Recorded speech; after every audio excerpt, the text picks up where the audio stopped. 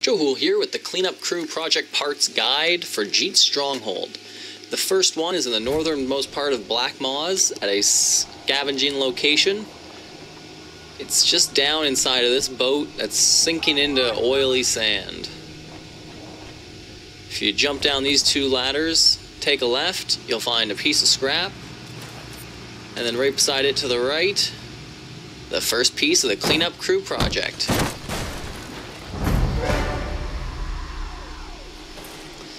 The second piece we're looking for in, is that the Colossus? Yeah, Colossus, zone of Jeet's territory. It's in the southeast at this little camp. There's a piece of scrap on the left, piece of scrap on the right, and a project part right inside that tent. That's the second of three pieces for the cleanup crew. Moving on to the third and final piece, this one's located on the west side of the fuel vein zone it's inside this overturned ship. Now, I made these videos originally to show off all the optional objectives and all the scavenging locations, so you have to bear with me while my guy runs through this area before finding the, where the project parts are.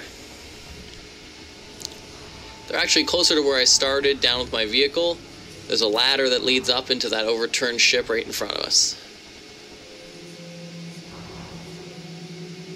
There we go. And up in here, there's two pieces of scrap and the final project part for the cleanup crew. Boom. And the cleanup crew is great.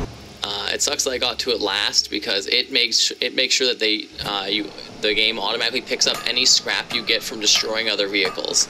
So it's perfect. You don't have to get out of the car anymore. And with that, that was the final upgrade I needed. And uh, Jeet Stronghold is fully upgraded. Maximum level. Took that bitch to 11. Thanks for watching.